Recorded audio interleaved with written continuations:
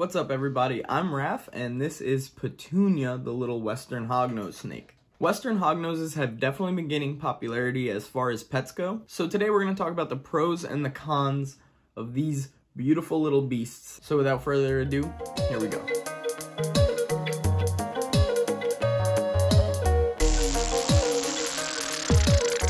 Okay, so we're gonna start out with the cons because we're gonna we're gonna finish on a good note. So the first con is that they can be pretty huffy and puffy. Petunia, it's kind of in between. Like half the time she'll scream and yell at me to get away using hisses. They don't have vocal cords.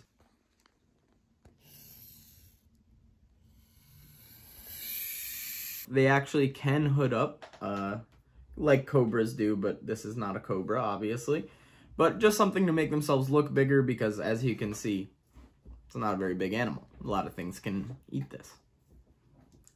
Now, this could be a con for, let's say, a new keeper that's just getting into snakes and they wanted their first snake, but they get this adorable little western hognose snake and every time they open the enclosure it just goes on full defense mode. Bluff striking, they really won't bite defensively but they will strike at you to kind of scare whatever it is away, right? That's one of their defense mechanisms, and it can be nerve-wracking. Just know that it really is all for show, and, you know, they'll get over it, you'll get over it, everyone will have a good time. Now, I said they really won't bite defensively, it's one of their last resorts, but they love food, right? So you may find yourself on the receiving end of a food bite, which is actually what happened. Uh, Petunia was at a place where reptiles were shown off before I took her, and I worked there for a little while.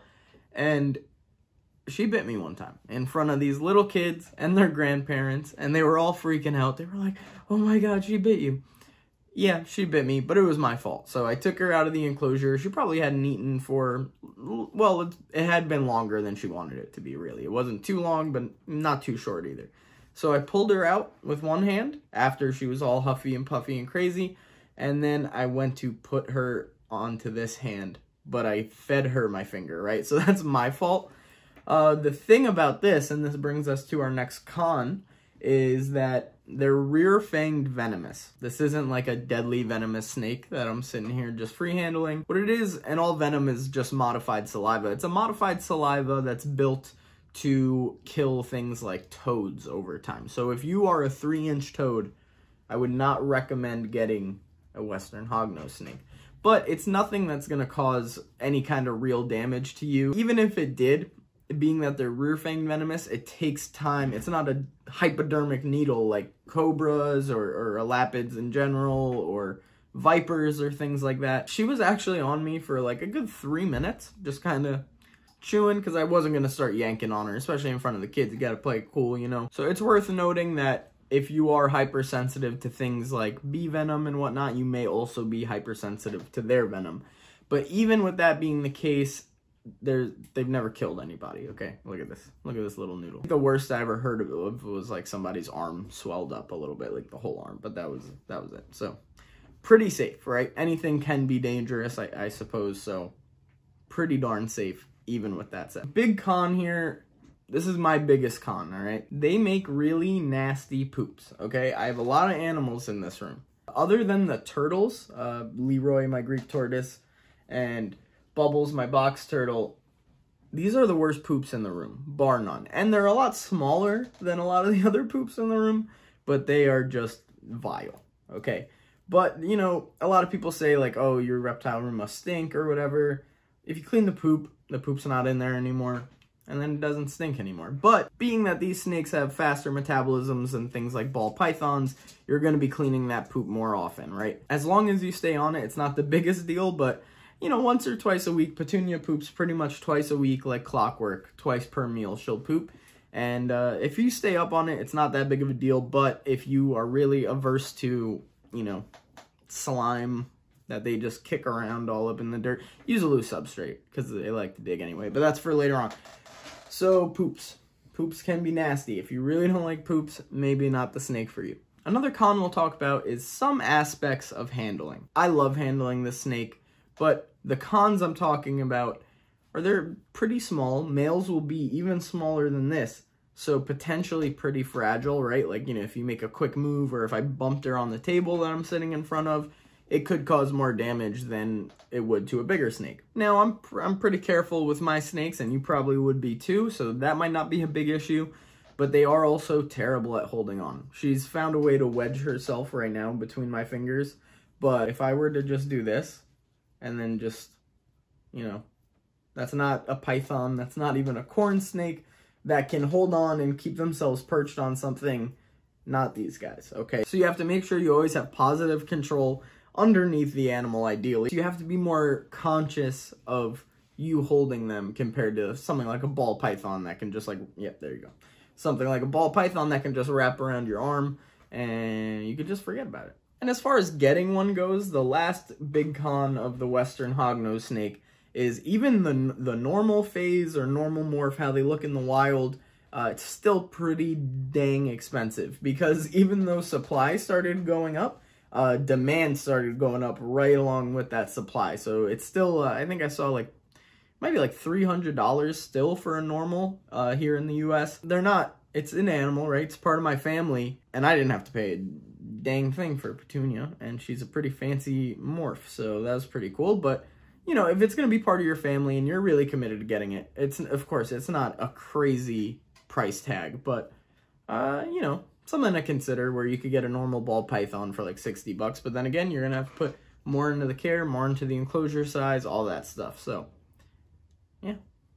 Now on to the pros, because you're not all bad, right, Petunia? And most of these are going to be the flip side of some of these cons. So first of all, it's a venomous snake that you can own safely and not have to jump through a bunch of hoops or really make sure you keep on lockdown. No, you could be Supreme Edge Lord among all your friends. Well, I have a venomous snake. Who's who's who's the real one now? Okay, that was really stupid, but a big pro for sure is just in general uniqueness. Okay, we'll talk about the look. How do they look? Number one, they have a keeled scale, which uh, each of these scales has a keel in it, which is basically just a ridge that goes right down the middle.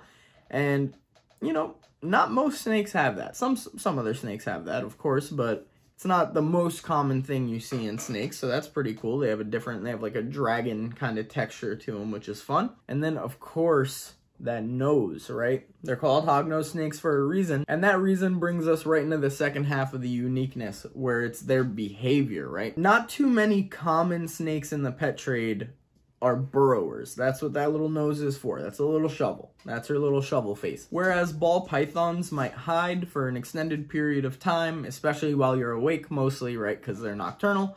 And uh, even corn snakes, which might move around a little more than a ball python, they're doing kind of regular things like climbing brush and, and traversing along the ground.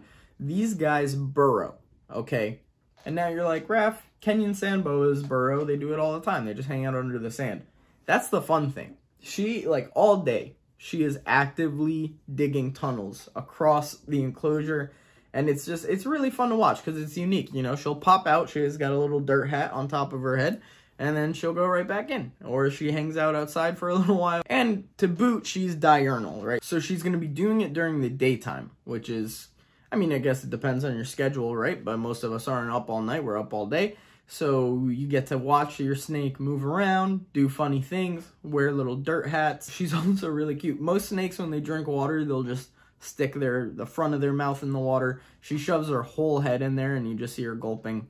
Pretty funny stuff. So, uh, yeah, just really unique behavior, and that's a big pro, of the Western Hognose. A big pro for these guys compared to other snakes. A lot of people don't want to deal with a freezer full of large rats. For whatever reason, a freezer full of smaller mice more palatable. There it is, palatable, acceptable. She's not gonna eat a big rat. Uh, she'll probably try, based on how I've seen her at feeding time, but, you know, just small little mice. Even, uh, I heard people having success with feeding them Reptilinks, which is basically just like a little sausage made out of different proteins that reptiles eat. Um, I don't know, I'm not gonna confidently say that you can just feed them Reptilinks and they'll live a long, healthy life, but uh, it doesn't seem like something bad to mix in there if you're a little sick of mice for a little while. From what I hear, these guys are primarily amphibian eaters in the wild. So, you know, they're not necessarily getting exactly what they eat anyway. So to mix it up with something like Reptilinks, which has, again, proteins that reptiles will eat it doesn't seem like a terrible idea to mix it up. We might try that with Petunia in the future. Yeah, you're not dealing with big rats. That's a that's a pro. I know I said there are some cons to handling them, but at the same time, they're really great for handling. What I said about how you have to support them at all times, you can view that as a con, or you can say, eh, well, it makes it more immersive, right? I have to focus more. You're spending more, I well, I guess I don't know how quality it is for them, right? We're learning more about reptile emotions and what they like and dislike, but you know, you're doing it. You're actively handling them, which is which is fun, right? You could, of course, actively handle a ball python, but sometimes they just want to wrap around your arm and just hang out, right? So you can't, you're not following with them, you're not doing various things that you might be doing with a Western hognose. Very active in the sense that they don't stop, but pretty slow, right? So they're not darty, they're not getting away from you at any time, but they are still moving, which again helps with that immersiveness, and it makes it, it makes for a pretty entertaining handling session. Next comes to feeding, right? Where, as I said, these guys can be huffy, puffy little maniacs for those first few seconds before you get them out. Okay, she found a burrow. These guys, where I guess I could have mentioned this as a con, they're going to be food aggressive. Not aggressive like they want to kill you, right? But definitely food motivated might, might be a better word. So these guys will come at you, come flying at the rodent, uh, Petunia has thrown herself from her tub multiple times at feeding time, and I mean, it's fun. You know, some people might not like it, but it is fun. It is entertaining to feed them. Where, again, I keep comparing them to ball pythons and corn snakes, other great beginner snakes, which it, it's fun when a ball python's sniffing at it and then boom, that strike comes out of nowhere. Not really out of nowhere. They telegraph it. You know what's coming. These guys are just flailing. They just open their mouth wide open and they just say, feed it to me. So it is, it's pretty fun. It's pretty entertaining. She's probably my most entertaining snake to feed. So it's definitely another pro of the Western Hognose. And with that, we're going to finish up with a feeding video because uh, Petunia's hungry. When isn't she? Uh, before we get to it, I want to conclude the pros and cons section look, obviously they're amazing, right? Do your research, make sure your care is going to be good because the better your care is for them, the better that they're going to, you know, behave, interact with you, the happier they'll be. So, in conclusion, those cons can go fly a kite and they're a great snake. Really great snake. And so cute. So cute. Okay, Petunia wants you to enjoy this feeding video. Other than that, once again, guys, I'm Raph. This is Petunia. You've been watching Red Ribbon Reptiles. Make sure you subscribe if you haven't subscribed already and like this video. It's free, helps me out a lot, helps Petunia out a lot. And enjoy this feeding video. We'll see you next time.